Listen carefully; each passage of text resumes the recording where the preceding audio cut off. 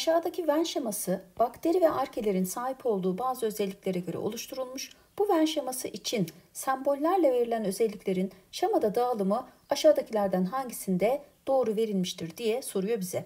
Önce şunu bir hatırlayalım. Hem bakteriler hem de arkeler prokaryot hücre yapısına sahiptir arkadaşlar. Tek hücreli canlılardır bunlar ve e, ribozom dışında organelleri yoktur.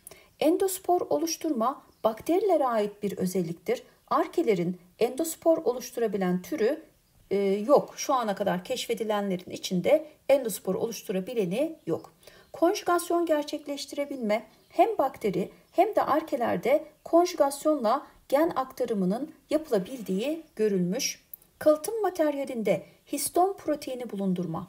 Bakterinin kromozomunda da protein var fakat bu histon değil. Arkelerin ökaryotlara biraz daha yakın e, sınıflandırılmasının sebebi histon proteinlerine sahip olması. Dolayısıyla yıldızı sadece arkenin olduğu yere koydum.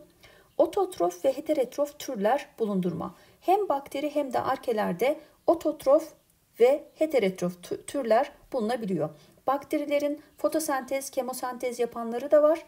E, heterotrof olanları da var. Parazit, saprofit olanları da var. Arkelerin de yine kemosentez yapabileni var. Dolayısıyla hem ototrof hem de heterotrof türler bulundurabiliyorlar. Şimdi bu şemayı şıklarımızda arayalım. Bakın A şıkkımızdaki şema bizim oluşturduğumuzla benziyor. Doğru cevabımız A şıkkı.